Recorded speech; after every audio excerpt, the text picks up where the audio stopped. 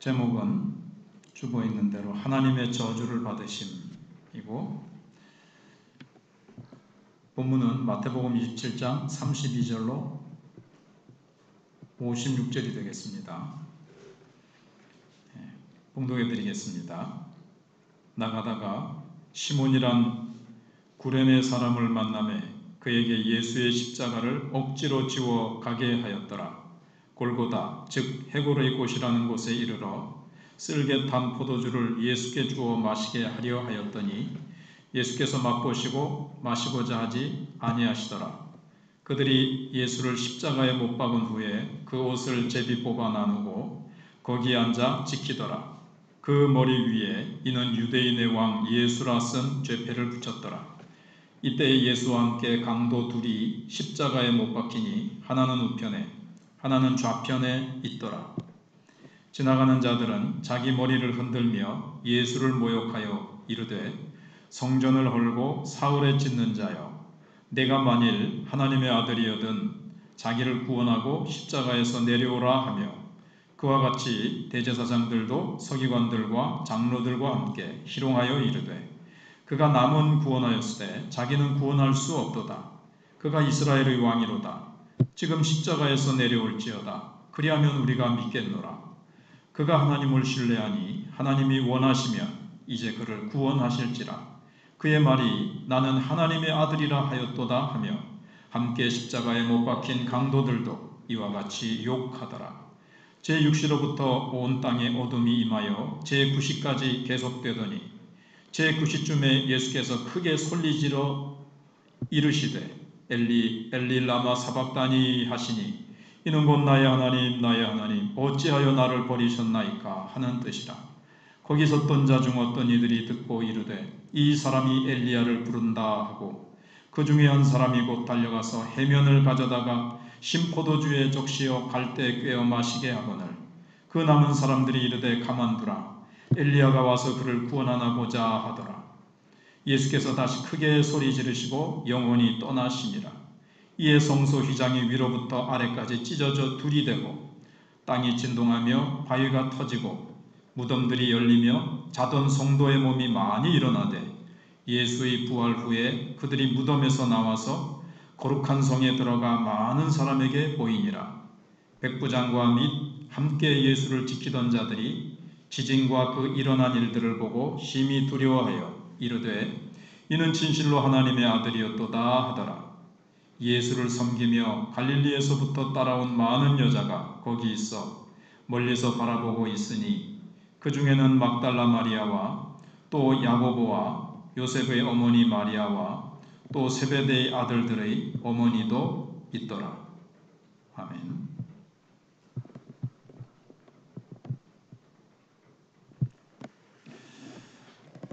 마태복음은 유대인을 위하여 기록한 책이죠. 그래서 예수 그리스도를 약속된 메시아, 또 구약의 제사 제도, 그 제사 의식에 예표된 자, 또 구약 예언의 성취자로서 그렇게 기록을 하고 있습니다. 우리는 오늘 본문에서 특히 예수님의 십자가의 죽음에서 하나님의 저주를 보게 됩니다. 그리스도는 마치 백성들의 죄를 지고 광야로 쫓겨나간 염소와 같습니다. 다시 말하자면 버림받은 염소와 같이 그리스도는 십자가에 버리워진 것입니다. 그리스도께서는 종국에 하나님의 버림을 받는 십자가의 고난을 당하셨습니다. 주님의 고난은 극에 달한 것입니다. 그러나 주님은 그러한 고난을 당하심으로써 영원한 죽음을 정복하셨습니다. 하나님의 버림을 받는 것, 즉 하나님의 은총으로부터 버림을 받는 것은 그리스도에 있어서 실제적인 체험이었습니다. 그러므로 주님의 백성들은 결코 하나님으로부터 버림받는 실제적인 경험을 하지 않습니다. 주님이 우리 대신 저주받으셨기 때문에 우리는 저주받지 않는다는 거죠. 그리스도께서 하나님으로부터 버림을 받는다고 해도 그것은 우리를 하나님께로 더욱 가까이 이끌고자 하는 목적을 지닌 것입니다. 그래서 이 주제를 생각해 보면 그리스도께서는 우리가 하나님의 축복을 받을 수 있도록 하나님의 저주를 담당하셨습니다. 오늘 본문에 빌라도의 명령을 받은 몇몇 군병들이 예수님을 끌고 예루살렘 거리를 지나서 성문 밖으로 나왔습니다. 예수님은 성문 밖에서 십자가상에 못 박히신 것입니다. 예수님은 성문 밖에 버리워져서 자기 백성들과 완전히 지금 단절된 상태였습니다. 다시 말하면 예수님은 영문 밖으로 추방당하신 것입니다. 구약 성경에 보시면은 그 대속죄일 날 염소 한 마리를 백성의 죄를 그 염소에게 이렇게 안수를 함으로써 정가시킵니다. 그리고는 예루살렘 성 밖으로 데리고 가서 저 광야 먼 곳으로 돌아올 수 없도록 추방시켜 버립니다. 그걸 지금 그것은 예수님이 오셔서 예, 영문 밖 예루살렘 성 밖으로 추방당하셔서 우리의 모든 택함 받은 모든 백성들의 죄를 대신 지시고 하나님과 백성들로부터 단절되어 죽으실 것을 예표하는 것이었는데 바로 그 예표를 예수님이 이제 이루시는 겁니다. 그래서 예수님은 자기 백성들에게 그토록 크신 사랑으로 은혜를 베푸시며 의를 행하셨습니다. 이것은 정말 힘든 고통임에 틀림없는 사실이었을 것입니다. 예루살렘 성문 밖으로 끌고 나간 것은 구약 성경에 방금 말씀드린 대로 희생 제사의 한 부분을 성취시키신 것입니다. 우리가 구약을 선고해 보면 백성의 죄를 대신 짊어진 염소가 예루살렘 성문 밖의 광야로 쫓겨나서 저주를 받게 되는 희생 의식에 대한 기록을 볼 수가 있습니다. 이와 같이 주 예수 그리스도는 희생 제물의 염소와 같이 자기 백성의 죄를 지고 예루살렘 성문 밖 광야로 버림받은 것입니다. 그래서 예수님께서는 무거운 십자가를 짊어지셨습니다. 그때는 밤새도록 이리저리 끌려다니시면서 불법 고초와 시문을 당하신 후였기 때문에 먹지도 못하셨지요. 밤새도록 한숨도 못 주무셨지요. 채찍에 40대를 맞으셨지요. 그래서 무척 기진맥진한 상태였습니다. 그래서 군병들은 예수님께서 못 박히실 장소까지 십자가를 운반할 수 없다고 그것을 알고는 군중들 가운데서 대신 십자가를 져줄 사람들을 찾고자 했지만 십자가에 손을 대고자 하는 자가 없었어요. 왜냐하면 십자가에 손만 대도 저주받는다라고 사람들은 생각했기 때문에 그 십자가를 아무도 짊어지려고 하지 않았습니다. 그때 이제 한 사람이 예루살렘 성 밖에서 예루살렘을 향하여 오고 있었는데 그 사람의 이름은 우리가 잘 아는 대로 구레네 사람 시몬이었습니다.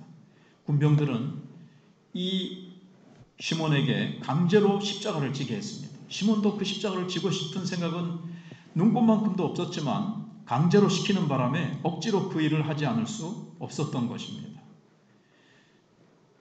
그 십자가를 마지못해서 짊어지는 구레네 시몬을 예수님께서 보하셨을 때 그 고통이 얼마나 심하셨겠습니까? 그래서 시몬은 십자가를 지고 예수님 뒤편에 서서 따라갔습니다. 마음속으로 그는 자기에게 십자가를 지게 하는 이 수치를 안겨준 로마 압제자들을 저주하고 또 앞서가시는 고난받는 예수님의 모습을 보면서 많은 생각에 잠겼을 것이 틀림없습니다. 아마도 이 구레네 사람 시몬은 후에 자기가 예수님을 대신해서 십자가를 운반하였다는 사실을 큰 영광으로 생각하게 됐을 겁니다. 어쨌든 예수님의 뒤에서 십자가를 운반하는 시몬의 모습은 하나의 영상과 같이 우리에게 많은 것을 시사해 줍니다. 진실로 주 예수 그리스도께서 우리 죄를 대신하여 하나님의 그 저주를 당하셨기 때문에 우리도 우리 자신을 부인하면서 우리 각자에게 주어진 십자가를 지고 주 예수 그리스도를 따라가야만 한다는 모습을 시몬이 우리에게 이렇게 영화의 한 장면처럼 영상으로 우리에게 보여준다는 것이죠. 그래서 이 군병들이 골고다라고 불리우는 언덕에 도착하였을 때 예수님과 함께 구레네와 시몬과 함께 이 무리들이 도착했을 때 그들은 주 예수님께 쓸개탄 포도주를 줬지만 예수님은 그것을 맛보시고 마시고자 하지 않으셨습니다. 그러니까 그것은 이 고통을 경감시켜주는 마취제 비슷한 거였거든요. 근데 예수님께서는 왜 그 포도주를 거절하셨을까요? 충분히 깨어 있는 상태에서 우리가 맛봐야 되는 우리가 당해야 되는 죄의 그 저주와 심판을 한 방울도 남김없이 다 주님이 담당하시기 위한 것이었기 때문입니다. 우리가 받아야 될 우리의 죄에 대한 모든 고통을 예수님은 남김없이 받으시기 위해서 기꺼이 모든 고난을 담당하시고자 하셨기 때문입니다. 그래서 예수님께서 마시기를 거절하자 그들은 주님을 십자가에 이제 못 박고 그 십자가를 높이 세웠습니다. 이제 진실로 주님은 땅에서도 하늘에서도 버림받은 존재였습니다. 다시 말하면 하늘도 땅도 예수님을 저주한 것입니다. 우리에게 임해야 할 모든 저주를 예수님은 한 몸으로 당하셨습니다. 그러나 예수님께서 언덕 위에서 십자가에 못 박히신 것은 우연한 일이 아닙니다. 당시 로마인들은 범죄자의 수치를 모든 사람들에게 공개하기를 원할 때마다 십자가형의 사형을 시행했습니다. 그래서 골고다에서 우리 죄악의 수치가 그리스도 안에서 나타난, 것, 나타난 것이죠. 하나님께서는 예수님을 수치스럽게 하심으로써 우리의 죄를 저주하셨던 것입니다. 그래서 십자가의 사건은 예수님을 믿는 모든 자들, 예수님을 그리스도로 믿는 모든 자들을 위하여 일어난 사건입니다. 진실로 우리들의 죄는 하나님의 저주를 받아야 마땅한 것이고 근본적으로 제거되어야 될 것임을 아는 자들은 믿음으로 말미암아 자기의 죄에 대하여 죽어야 합니다. 예수님께서 가장 고통스러운 것은 육체의 고통이 아니라 하나님의 저주를 받아서 버림을 받는 바로 그것이었습니다. 그래서 하나님께 버림을 받았다는 예수님의 이 자각. 이건 백성들이 그에게 저주를 행동으로 말미암아 더욱 절실히 그의 마음에 사무치게 된 것입니다. 그래서 주님의 겉옷은 군병들이 제비 뽑아 나누어 가졌습니다. 이것도 구약 성경에 예언된 성취죠. 시편 22편에 예. 나의 속 겉옷을 제비 뽑나이다 하는 말씀이 있죠. 그들은 이미 예수님을 죽은 자처럼 취급했고 세상 사람과 똑같은 자로 간주했던 것입니다. 그러면 예수님의 삶은 열매 없는 삶이었던가요? 여기서 예수님은 하나님께서 자기를 버리신 것과 그가 자기와 더 이상 아들로서 관계하시기를 원하지 않는다는 것을 철저히 느끼셨습니다.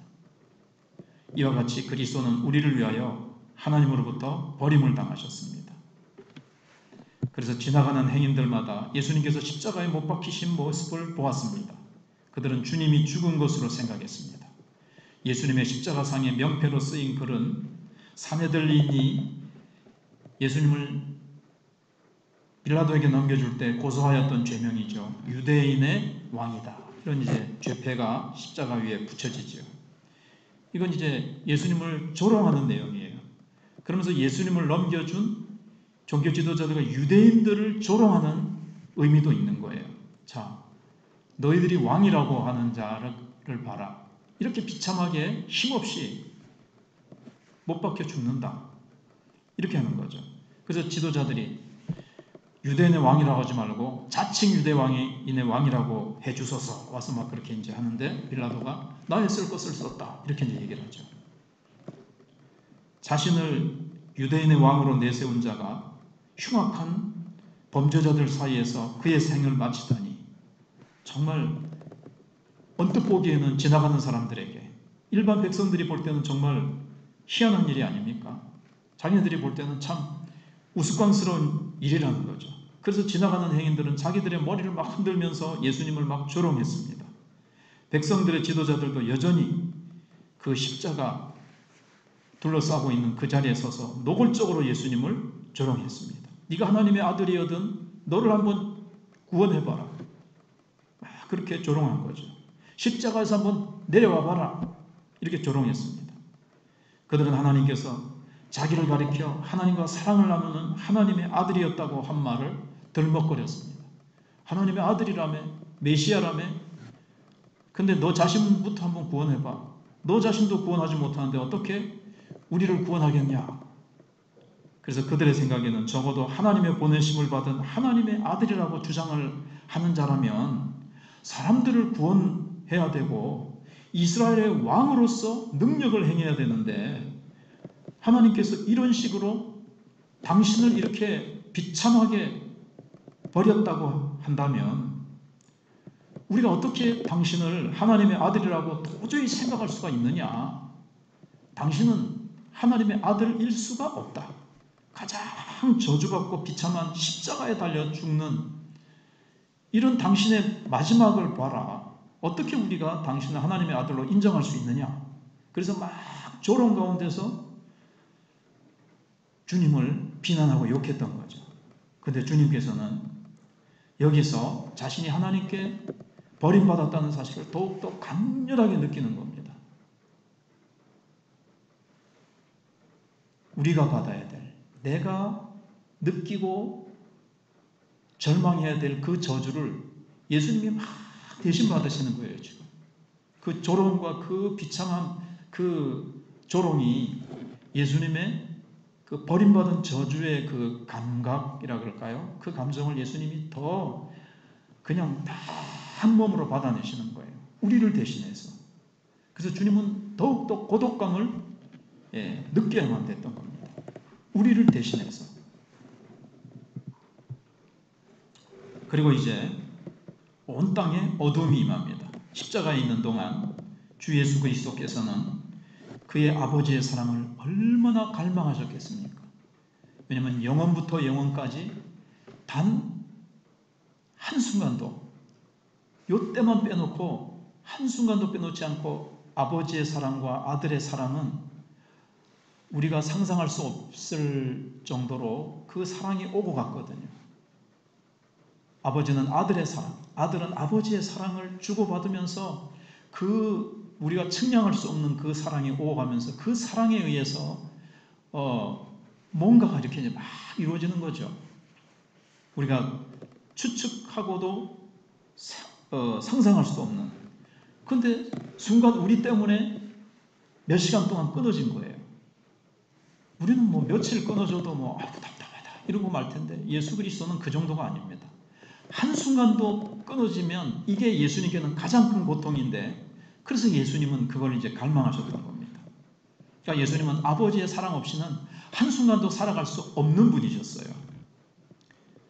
그동안은 지상에서 분명히 하늘 보좌를 버리시고 이 땅에 내려오셔서 사역을 하셨지만 늘 아버지의 사랑 속에서 그 사랑의 위로를 받으시면서 사역을 하셨습니다. 그러나 십자가 위에서는 조금도 아버지의 위로와 사랑을 못 느끼신 거예요. 이걸 상징이라도 하듯이 날은 어두워졌고 빛은 사라지고 예수님은 심령으로 한 치 앞도 안 보이는 어둠 속에 거야 했던 겁니다. 그러니까 심령 영적으로 이렇게 정신적으로 아버지의 사랑이 전혀 못 느껴지시니까 그냥 어둡고 캄캄함을 예수님은 우리 대신 철저하게 느끼시고 맛보셔야 됐다는 거예요. 그래서 예수님은 철저하게 하나님으로부터 버림받게 된 겁니다. 우리가 버림받는 그 깜깜한 하나님의 사랑과 은혜와 빛은 0.00001도 없는 그 깜깜함 상상이 되세요? 우리는 예수 믿어서 다시는 그 저주의 깜깜함을 우리는 맛볼 수 없기 때문에 우리는 뭐 대충 상상해 볼 수 있을 뿐이죠. 그 저주는 정말 어마무시 상상할 수 없는 그런 버림을 그러니까 하나님부터 완전히 단절되신 거예요. 그래서 12시에 9시에 못 박히셨죠? 3시간 지난 12시에 태양이 이제 어두워지기 시작한 거예요. 그 어둠이 온 땅을 덮어버린 거예요. 이것은 과연 일어날 만한 일이었죠. 예수님은 교회 머리도 되시지만 온 세상의 머리가 되시는 분이시거든요. 그분을 통하여 모든 은혜와 축복이 우리에게 임하게 되는 그런 분이 하나님의 버림을 받았으니까 태양인들 어찌 어두워지지 않을 수가 있겠습니까? 그래서 어둠은 12시부터 오후 3시까지 세 시간 동안이나 빛을 발하지 못했습니다. 그래서 그 시간은 예수님께서 가장 고통스러워하던 시각이었습니다.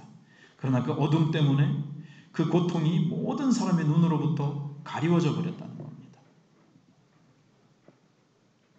예수님이 그 십자가에 매달리셔서 고통당하시는 것을 깜깜했기 때문에 사람들이 볼 수가 없었던 거예요. 그러면서 커다란 공포가 예수님을 사로잡기 시작하는 겁니다. 그 공포도 우리 대신 받으신 공포죠. 우리가 하나님으로부터 원래는 단절돼서 우리가 느껴야 되는 공포, 지옥으로 우리가 던져지는 그 공포를 예수님이 대신 받으신 거예요. 하나님 없는 세상이 3시간 동안 다 이렇게 이루어지는 거죠. 하나님 없는 세상을 예수님이 맛보시는 겁니다. 사실은 하나님부터 영혼이 분리되면 그게 뭡니까? 영원한 어둠이고 영원한 죽음이고 지옥 그 자체가 아닐 수 없습니다. 그래서 천주교나 다른 혹시 교파는 예수님이 실제로 지옥까지 내려가셨다고 보지만 우리 개신교에서는 지옥까지 예수님이 내려가셨다고 보지는 않습니다. 바로 십자가의 이 하나님으로부터 단절되는 이 공포와 저주가 바로 지옥 그 자체였다고 보기 때문에 그렇습니다. 그래서 주님은 괴로워하시면서 나의 하나님 나의 하나님 어찌하여 나를 버리셨나이까 라고 소리쳤습니다. 예수님이 과연 왜 하나님이 자기를 버리셨는지 이유를 몰라서 그렇게 막 왜 나를 버리십니까? 그렇게 하신 겁니까? 아니죠. 우리의 죄 때문이라는 것을 너무나도 누구보다도 잘 알고 계셨습니다. 그러나 십자가상에서 예수님은 우리의 죄악으로 인한 형벌과 그 죄악의 넓이와 깊이를 충분히 맛보셔야 됐고 그로 인한 하나님의 저주의 중압감에 견디다 못해 그렇게 외쳤던 것입니다. 그러니까 우리가 외쳐야 될 외침을 우리가 받아야 될 그 진노의 죄로 말미암은 진노의 중압감을 예수님이 대신 받으시면서 예수님도 너무 고통스러우신 거예요. 예수님은 한 사람의 죄가 아니라 택한 백성 모두의 죄를 짊어지셨기 때문에 수천 번, 수만 번 죽으시는 그 죽음의 중압감을 예수님 홀로 다 받으시는 거예요. 그러면서 우리 대신 어찌하여 나를 버리셨나이까? 그 하나님으로부터 버림받는 고통을 예수님이 이제 절규하신 겁니다. 예수님께서 우리를 대신해서 영원한 죽음을 맛보셨을 때 수천 번, 수만 번 죽은 것이나 다름없다는 예, 말씀이죠. 그래서 예수님은 하나님으로부터 완전히 버림을 당하신 겁니다. 부분적인 버림이 아니에요. 지금 세상 사람들이 하나님 없이 살아가는 사람들이 당하는 영적인 어두움과 고통이 있습니다. 근데 이것도요, 부분적인 거예요. 하나님의 일반 은총이 아무리 안 믿는 사람들에게라도 부, 부분적으로 비치고 있습니다, 지금. 근데 끝까지 예수 안 믿고 죽으면 심판받아 지옥에 던져질 때는 일반 은총의 빛이 완벽하게 끊어집니다. 지옥의 고통이라는 것은 정말 상상할 수가 없는 거죠. 그래서 예수님은 그리스도라는 직분을 가지고 창세전부터 하나님이 택하신 백성들을 위해서 순종하심으로써 그 모든 고난을 다 감수하셨습니다. 그러니까 주님은 우리가 받아야 될 마땅한 죽음의 고난을 대신 받으셨던 겁니다. 우리는 영원한 죽음에 처한 죄인이었죠. 영원히 하나님께 버림을 받아 마땅한 죄인이었음에도 불구하고 그리스도께서 날 위하여 고난을 당하심으로 하나님 앞에서 우리를 위해서 중보하고 계시고 하나님의 무서운 저주를 동이 서에서 뭔가 같이 멀리 옮겨버리신 겁니다. 그래서 광야 저 멀리 염소를 추방해버렸다는 것은 우리가 받아야 될 저주와 진노를 하나님이 멀리 다 옮겨버리신 거예요.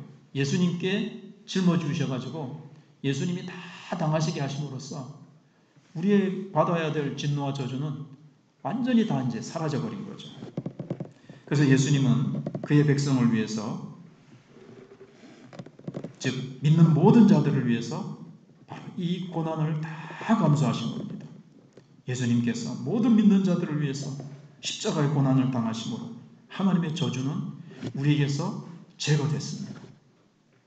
그래서 안 믿는 사람들은 이사 갈 때 뭐 뭐가 끼가 뭐 살이 끼지 않은 날 결혼할 때도 다 보죠. 저주가 따라다니까요. 근데 우리는 그런 거 봅니까? 저주가 완전히 제거됐기 때문에 볼 필요가 없어요. 우리가 잡은 날이 복된 날이고 모든 날이 예수 안에서 복된 날이기 때문에 그렇습니다. 따라서 하나님의 백성들은 하나님과 예수님 때문에 영원한 교제를 나누게 됐습니다. 우리는 결코 버림받지 않게 된 것입니다. 죄 때문에 우리가 근데 이제 죄 때문에 죄를 지어도 그러면 아무런 일이 일어나지 않느냐? 잠시 하나님과 좀 멀어지거나 일시적으로 하나님이 징계의 매를 때릴 수가 있어요. 다윗처럼. 그러나 그것도 부분적이고 일시적입니다. 그래서 다윗을 철저하게 회개케 하시고 다윗이 성숙하게 하시고 하나님이 다시 다윗을 더 온전케 하시죠. 하나님도 우리에게 그렇게 하세요. 그래서 일시적으로 부분적으로 잠시 멀어진 듯또 어, 그렇게 할 수 있지만 궁극적으로 근본적으로 하나님이 우리를 버리시는 일은 절대 절대 절대 없습니다. 예수님이 대신 단절되는 고통을 맛보셨기 때문에 그렇습니다. 그래서 하나님께서는 예수님 때문에 우리 믿는 우리 우리들을 영원히 견고하게 붙들어 주시고 일시적인 징계를 통해서 일시적인 징계를 왜 주실까요? 하나님하고 깊이 교제를 잘 안 해. 그러니까 하나님이 더 가까이 부르셔서 더 깊은 교제, 더 온전한 교제를 나누게 하시기 위해서, 더 친밀한 교제로 우리를 부르시기 위해서 깨닫으라고 징계를 주시는 거예요. 그래서 골고다에 있는 모든 사람들은 온 땅에 어둠이 임하자 무척이나 두려워했습니다. 그럼에도 불구하고 그들은 이 두려움을 극복하기 위해서 어떤 짓을 했느냐? 엘리엘리라마 사박다니 그렇게 외치는 예수님을 향해서 조롱 섞인 조소를 하는 거예요. 자녀들의 공포를 막 이겨내기 위해서. 야 이거 보통 분을 우리가 죽인 게 아닌 모양이다 하는 공포도 있었을 거고 막 막 온 세상이 깜깜하니까 얼마나 공포가 임했겠습니까? 근데 조롱으로 이 그걸 이겨내려고 한 거예요. 엘리 엘리 삼박다니까 보자 엘리야가 내려와서 뭐 구해주나 보자 이러면서 막 예? 그렇게 이제 막 하죠. 그리고 한 사람이 참 예수님을 불쌍히 여기는 동정심 받은 많은 사람이 신포도주를 머금게 한 해용을 가져다가 예수님께 마시, 마시우려고 할 때도 놔둬라 막 그걸 막 못하게 하는 거예요. 도와줄 필요 없어. 하나님이 도와주시는지 하나님이 엘리야를 보내셔서 도와주시는지 한번 보자. 이것도 이제 조롱이죠. 그래서 이 십자가의 사건이 하나님이 보여주시는 사건임에도 불구하고 그들의 마음은 완전히 지금 광박하게 닫혀 있었기 때문에 이 사건을 보면서 두려워하고 회개하고 뭔가 영적으로 눈이 열려서 뭔가 겸손히 그 마음이 깨어지고 하나님 앞에 무릎 꿇어야 되는데 오히려 더 조롱 섞인 말로 끝까지 강박한 모습을 보게 됩니다. 바로 예수님이 당하시는 그 고통이 자신들을 위한 자신들이 받아야 될 심판을 대신 받으셨다는 것을 전혀 이제 깨닫지 못하는 거죠. 왜냐하면 이 십자가의 사건은 육신의 눈으로는 육신의 머리로는 절대 깨달을 수 없어요. 믿음으로만 깨달을 수 있기 때문에 그렇습니다. 우리는 성령의 은혜에 의해서 십자가의 사건이 나의 죄를 위한 것이고 내가 받아야 될 심판을 예수님이 대신 당하신 고난이라는 것을 깨닫기 때문에 우리는 믿음으로 십자가의 고난에 동참하는 겁니다. 지금도 우리가 믿음으로 그 십자가의 고통을 우리가 생각하면서 우리가 아, 주님, 주님, 우리가 이렇게 동참하고 있지 않습니까? 네. 그래서 우리는 믿음으로 저주에서 우리가 해방된 것이 되었고 그 해방을 우리가 이제 누리고 있는 거죠.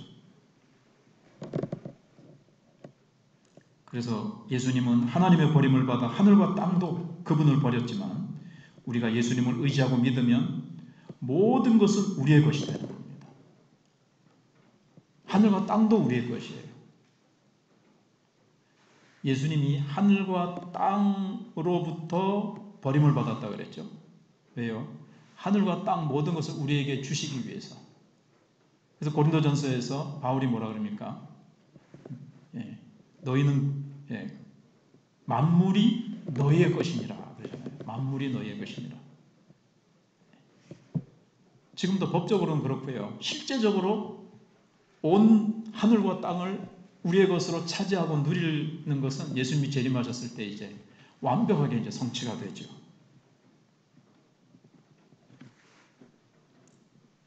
자 이제 끝으로 한 가지만 더 생각을 보겠습니다. 그래서 마침내 6시간 동안의 고난을 당한 연후에 예수님의 운명의 시간이 됐습니다. 그래서 예수님은 자기 백성들을 위하여 고난을 당하다가 기꺼이 자기의 목숨을 죽음의 세계에 내어주셨습니다. 예수님께서 크게 소리 지르시던 그 순간 예수님은 운명하시고 예수님의 영혼은 떠나셨습니다. 예수님의 죽음은 저주로 인한 죽음이었고 저주받은 자로서 십자가상의 죽음이었습니다. 그래서 예수님께서 자기 백성들의 죄를 짊어지셨기 때문에 그의 백성들에게 있어서 그것은 커다란 축복이 아닐 수가 없습니다. 너무너무 비참하고 저주스럽고 고통스러운 죽음이셨죠. 그러나 그것이 우리에게 축복을 가져다 줬다는 거죠.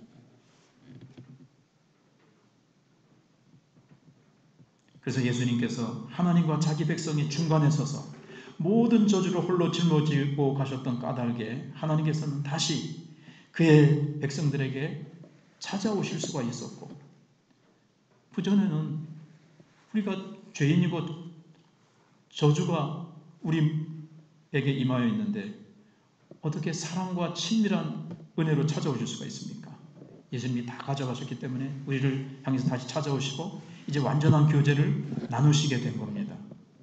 그래서 하나님과 우리 사이에 막혔던 담이 허물어지는 표징으로 우리가 잘 아는 대로 지성소와 성소를 가로막고 있던 성소의 휘장이 위에서부터 아래로 쭉 찢어졌습니다. 그때까지만 해도 하나님께서는 그 휘장 뒤에서 가려진 채로 이스라엘 백성들과 교제를 나누셨어요. 아주 좀 이 휘장 때문에 자유스럽고 친밀한 하나님과의 이 하나님 백성과의 교통이 잘 안 이루어져 이렇게 충분히 친밀하게 이루어질 수가 없었어요. 죄와 저주가 제거되지 않았기 때문이죠. 그런데 그리스도의 죽음으로 말미암아 이 죄와 저주가 싹 제거가 된 거예요. 그래서 하나님께서 이제 휘장 뒤에서 나오셔서 자기 백성들의 심령에 성령으로 거하시게 된 겁니다. 그래서 예수님께서 하나님의 저주를 받아 죽으심으로 말미암아 하나님께서는 더 이상 휘장 뒤에 사시는 거하시는 감추인 하나님이 아니에요. 자기 백성들에게 완전히 자신의 모습을 드러내셔서 더욱 친밀하게 교제하시는 하나님이 되신 것입니다. 그래서 하나님의 저주가 제거되었다는 사실을 알리는 또 다른 사건이 있죠. 오늘 본문에서 지진이 일어나면서 바위가 터지고 무덤이 탁 열려서 잠자던 많은 성도들이 다시 살아 일어나서 주 예수님 부활하신 후에 예루살렘에 있는 성도들에게 가서 막 자기의 몸을 보였다고 오늘 본문의 뒷부분에 나와 있죠. 이건 뭘 보여줄까요? 마지막 날에 일어날 사건을 예표적으로 약간 그러니까 맛보기로 잠시 좀 보여주신 거예요. 마지막 날에 하늘과 땅이 막 움직이고 모든 죽은 자들이 부활하게 될 겁니다. 만물은 완전히 새롭게 될 것입니다. 하나님께서는 그리스도의 죽음의 순간에 예언적으로 이렇게 맛보기처럼 어렴풋하게 그날의 영광을 이렇게 잠시 좀 어렴풋하게 보여주신 거예요. 그럼 이 사람들은 어떻게 됐을까요? 다시 살아난 사람들은 예루살렘에 들어가가지고 예, 어떻게 됐는지 성경은 말하고 있지 않습니다. 추측하기를 어떤 성경학자는 엘리야와 에녹처럼 승천하지 않았을까? 예, 좀 그렇게 추측하는 것도 괜찮을 것 같습니다. 그 사람들이 어떻게 됐을까? 여기에 대한 호기심에 우리가 집중할 것이 아니고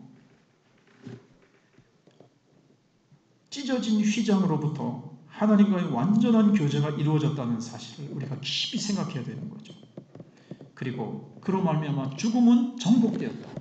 마지막 날 죽음은 완전히 저주가 제거되었기 때문에 이미 사실은 죽음이 정복된 거나 마찬가지고 마지막 날 우리 모두가 다 무덤에서 죽음에서 다 일어나서 우리는 새 예루살렘에 들어가서 우리는 하나님의 영광을 찬미하며 하늘과 땅이 새롭게 된 새하늘과 새 땅에서 우리가 영원히 축복 가운데 살아가게 될 것을 우리가 보여주는 겁니다.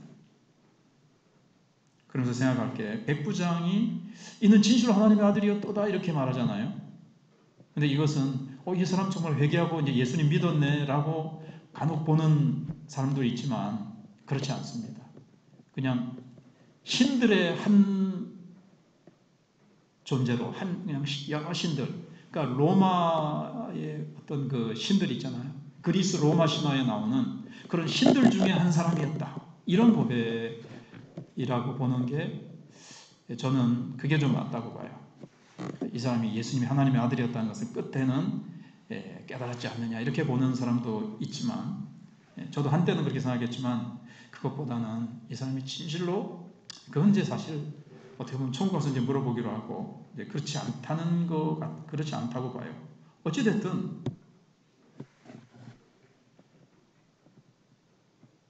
그리스도의 죽음은 정말 거기 보시면 이제 마지막으로 나오는 게 이제 여인들이 나오죠. 갈릴리에서부터 예수님을 따르며 그를 섬기던 많은 여인들에게 절망감을 심어줬습니다. 그러나 이 여인들은 나중에 예수님의 죽음이 자기들의 죄를 위한 영원한 속죄 제물의 죽음이었음을 이제 후에 며칠 뒤에 깨닫게 되죠. 그래서 이 깨달음이야말로 진실한 예, 깨달음이 아니겠습니까?